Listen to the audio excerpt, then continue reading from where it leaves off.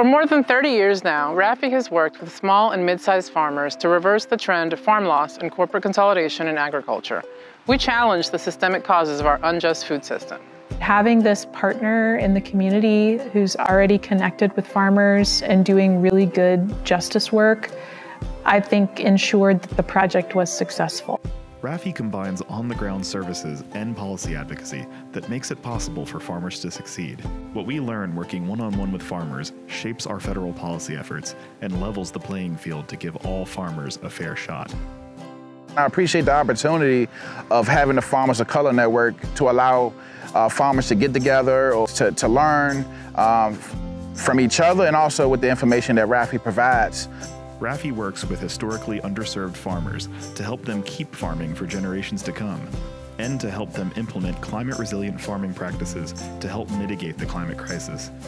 We are farmers from the southeast United States, Puerto Rico, and the U.S. Virgin Islands. And we are communities, urban and rural, that deserve a fair food system that works for us, not just big corporations.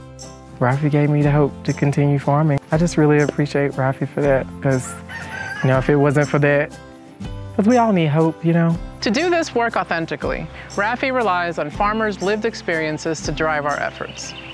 Please join us.